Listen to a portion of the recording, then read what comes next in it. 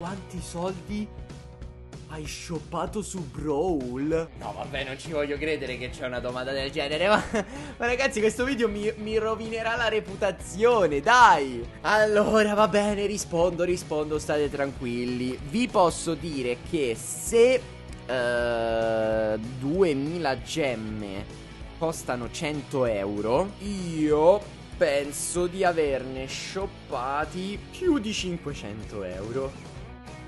Forse, forse, dico forse, ecco beh, forse non arrivo a mille. O forse sì, non lo so, intorno a quella cifra.